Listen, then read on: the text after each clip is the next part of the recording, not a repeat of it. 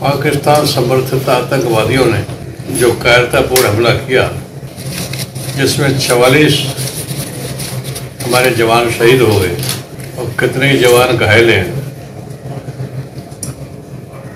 उनमें से कुछ की हालत गंभीर है।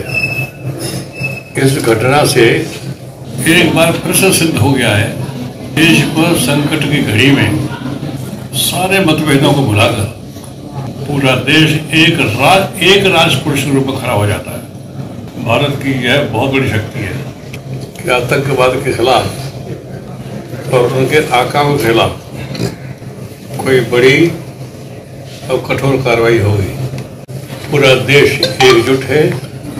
सत्ता पक्ष और विपक्ष इस मामले में एक हैं। जनता, प्रधानमंत्री जी से बहुत ही कठोर कार्रवाई की अपेक्षा कर रही है।